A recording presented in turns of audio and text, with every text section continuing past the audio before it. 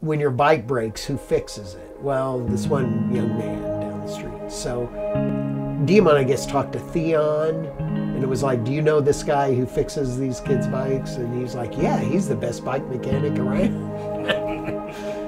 so he, you're gathering the young people and talking with them, and they say they want to start a bike shop.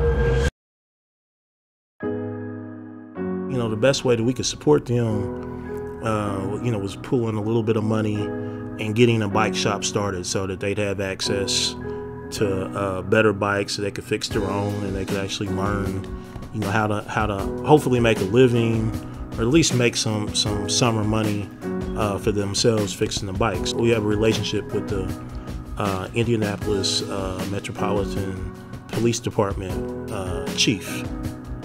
And you know, uh, we had talked to him about it, and he said, "Well, we have all these impounded bikes that that that we have just sitting around. As long as you can have a nonprofit sign off for them, then you can have the bikes."